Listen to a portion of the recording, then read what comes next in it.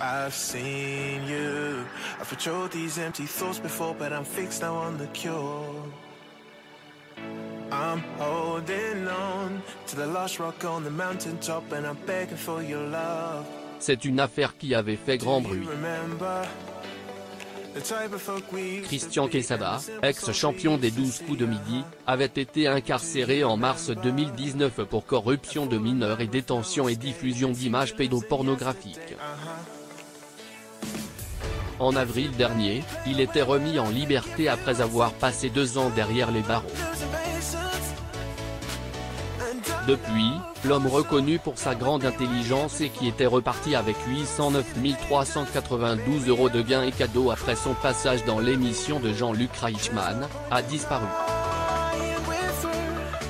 Silence radio. Il se planquerait pas très loin de l'Espagne, à la frontière c'est donc après sa sortie de prison que l'ex-champion a décidé de passer en mode inconnu. Le père de famille qui a supprimé ses comptes sur les réseaux sociaux, se serait également vu chassé par son propriétaire. De ce fait, il aurait alors décidé de complètement quitter la région. En avril dernier, Gilles Verdé déclarait « N'en touche pas à mon poste, il a disparu sans laisser d'adresse ».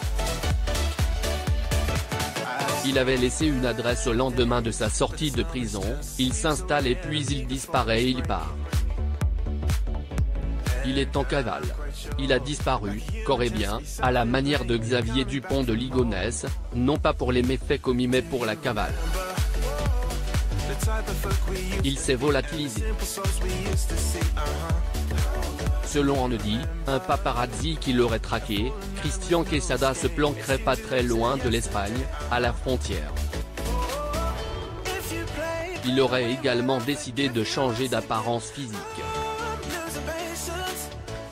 En effet, alors en prison il était surnommé par ses co-détenus Robinson Crusoe pour ses cheveux longs et son épaisse barbe. Affaire à suivre. Kaina Abouji.